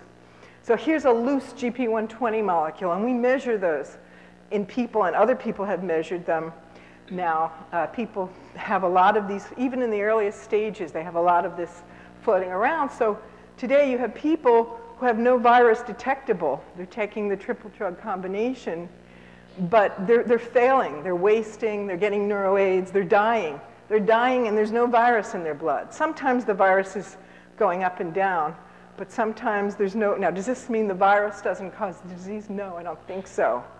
It simply means that um, it's not that the virus doesn't cause the disease, it's Hmm. I lost the thought. What's the beginning of the sentence? Pardon? Yeah, it's not caused by the virus, but it is caused by the virus. It's caused by this sort of part of the virus that, that, that breaks off.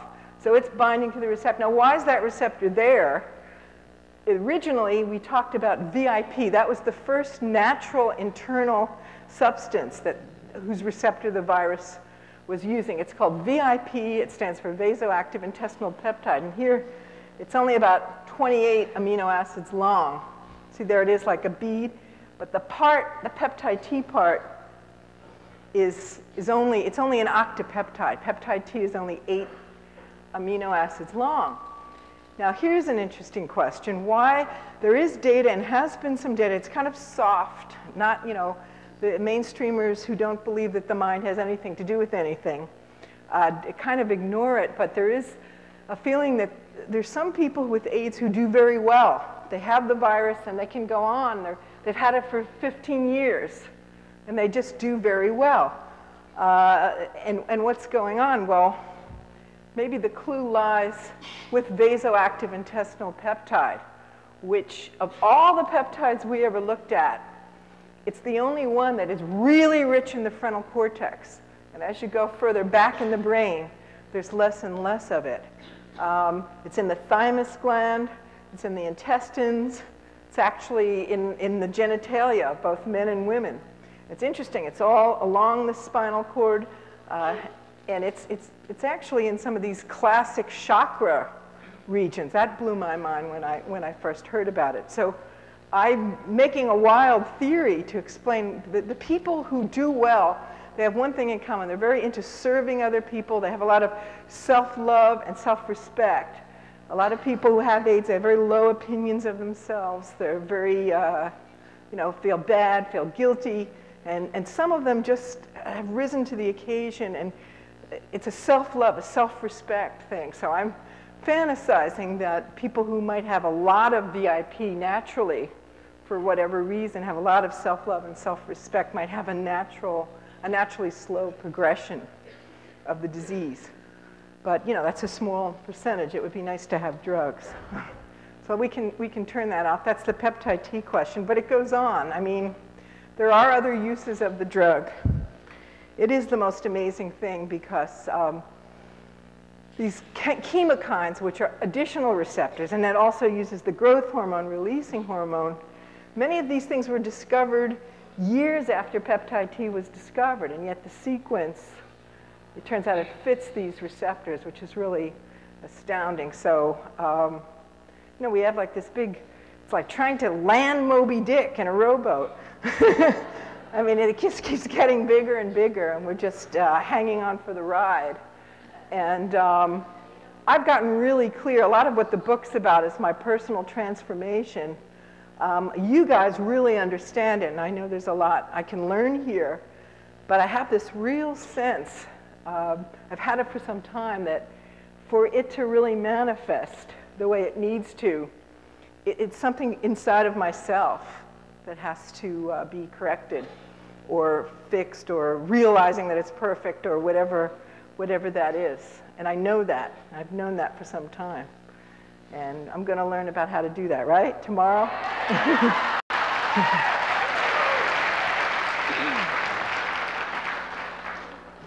Hi. My question goes back to your early uh, paper, your first paper talking about the opium receptor sites. Uh, some of the literature that I've read over the years that talks about those people who are, quote unquote, by science, an alcoholic or a drug addict who is based on uh, their receptor sites, their dopamine receptor sites are tied up with THIQ. And if they cease to drink, that supposedly builds on again at that same area. Um, they start at the same point of degradation. If they start drinking again, like when they're uh, 30 years away from it, they begin the same physical degradation. My question to you, and you started to work on that, and, and I, I understand where you're talking about the receptor sites shrink, but has there been any re- are you going to get into, or has there been any research that talks about how you talk about how the receptor site has the ligand bind into it? Has there been any consideration for those who are cocaine addicts and heroin addicts and opium people and, and things like that? How to unbind those receptor sites to take that loose, to set that area back to freedom? Well, uh, the, the the way you set the area back to freedom is don't put the drugs into the body anymore. Uh, because the, they don't, let me make something clear. When drugs bind, or even internal ligands, they don't sit there for the rest of their lives. They're, they're actually ping ponging on and off. They're binding and unbinding. And depending on how tightly they bind, and there's a whole mathematics of it, it's how long they stay. So one, here, one molecule might be staying for a few seconds and then coming off. And another one might be staying for a few minutes and coming off. Another one might be going like that. So they're always coming off, and then the stuff that's off gradually gets cleared away by your liver. So the trick is just not to put them in your body anymore, and then everything will correct itself. The trick. Piece of cake, right? Dr. Pert, thank you for both your contributions to date and also for being here. Um, I have a question which uh, I'll, I'll, sort of preface with uh, a little background. Uh, in the early part of your book, you, you mention, uh, I don't know whether it was artistic license or whether you had something more in mind, but you mentioned that the peptides and receptor sites have a, a music, a, a resonance about them. Um, as a bioengineer and, and, a radiation physicist, I've, I have a certain twist on it myself as to what might be happening, but I wanted to ask you if you envision, or perhaps you've already thought of, uh, a more subtle means of explaining, for example, why there are certain very specific uh, pathways, for example, for uh, cancer metastasis that, that have nothing to do with uh, vascularization and, and, uh, and circulation, but yet are very, very specific for certain types of cancers. My thought is that the, it may be because there is a, a resonance to these very you know, different parts of the body. I'm wondering if in, in your work about receptors and receptor sites, you had looked at, at that aspect of it, of the, the resonance, as opposed to a purely uh, chemical or biochemical approach. Since I'm just a biochemist, I haven't. Uh, I haven't looked at it. I don't have the techniques to look at it, but I think what you're suggesting is very sound, and I don't think it's a metaphor. We know they vibrate. We know there's this idea called resonance. We know that if we pluck a violin string, the other violin in the room uh, will vibrate. There's a, there's a, a subtle energy or, a, or a, aspect to all this that I am not an expert on. In the book, I speculate a little here and there, very primitive. Uh, I've gotten a lot of really interesting comments from engineers and physicists who, who are expanding um, the thinking of it. We didn't talk too much about cancer, just a few cancer facts. One cancer fact is many cancers secrete peptides. Sometimes they secrete, they, small cell carcinoma of the lung makes not just bombesin, I talk about that discovery, but it, they make endorphins. Different, pep, different tumors make different kinds of peptides, which is very interesting that the tumors are kind of in communication with the rest of the body, and the tumors have receptors on their surface. So it's the, you know, you can create the kind of tumor that you need to supply you with the peptide that you're lacking. That's one kind of a strange view. Uh, but, but, but there is a, a, scientific fact that these peptides are being secreted uh, by, by the tumors. Uh, other facts are that um, we all have little cancer cells that arise every single day of our lives, and we have our natural line of defense. They're called natural killer cells. They're kind of modified monocytes, as I talked about. They have peptide receptors, they have emotion molecule receptors on their surface, um, and yet somehow, um, uh, you know, what happens? Why do some people get cancer and others don't? And the answer is um, who knows?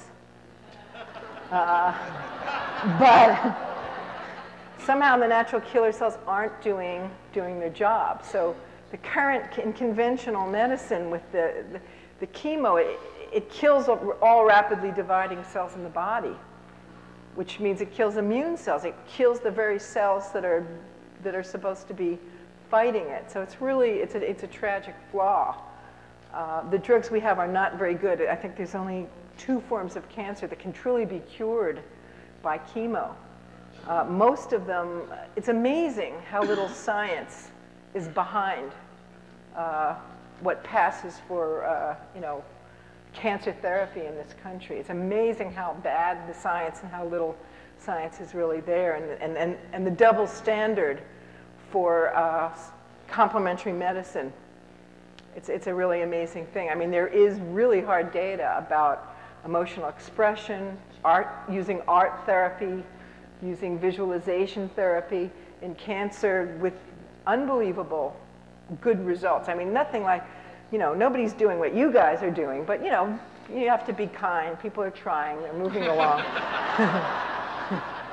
but the, the uh, there's, there's hard data, and there's more and more hard data. There's a, I was at UCSF uh, the other day, and there's a, a an Army-funded trial to look at breast cancer and to see what happens when you add um, art therapy and visualization, etc. So this is funded by the Army. So the culture is getting ripe for it, but there's going to be a big battle watch to see how all this is going to develop. You know, it's a, it's a billion dollar, a multi-billion dollar industry, the cancer industry. And I'm really very, very critical of it. Um, you know, just, just one point that's important is that um, you, once a drug, this is the system, once a drug has been shown to be efficacious, even if it's a tiny little effect, that's called standard of care. And that means ethically, after, every time a scientific study is run, you must compare it to the drug that worked. That means what? There's no placebo group anymore. So when you're reading in the newspapers, a new combination, it's, you, you live longer. Well, statistically, you live three months longer. But there's no group in there that doesn't have the drug. A critical scientist would say, maybe the group that doesn't have any of the drugs would live longer than all of them. but it's not in there. So, you know, when we talk about drugs are bad, I've myself come to be very anti-drug, and I'm not just talking about cocaine and heroin and marijuana.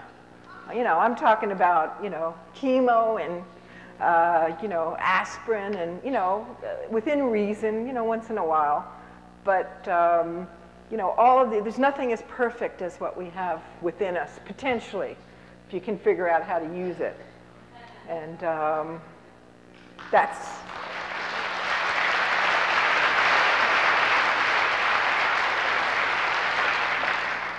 Now, don't show this tape to any um, pharmaceutical people. I don't want to end up like Karen Silkwood here, you know.